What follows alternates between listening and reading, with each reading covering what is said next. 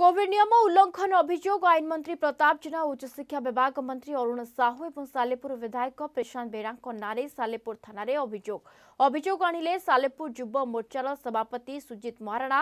Salehpour হাইস্কুলর নূতন auditorium এবং Salehpour স্বয়ংশাসিত মহাবিদ্যালয়র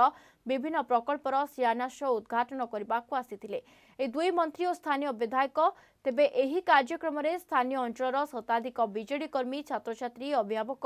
ও অধ্যাপক মানে कोविड नियम उल्लंघन करते तेरे दुई वरिष्ठ मंत्री किभली भाव राज्य सरकार को कोविड नियम उल्लंघन कर छात्र छात्री मान जीवन को विपद को ठेलिले तेणु तुरंत सरकार यह दुई मंत्री सहित स्थानीय विधायक को गिरफ्त करने सहित छात्र छी मानक कोरोना टेस्ट करूँ बोली दावी कर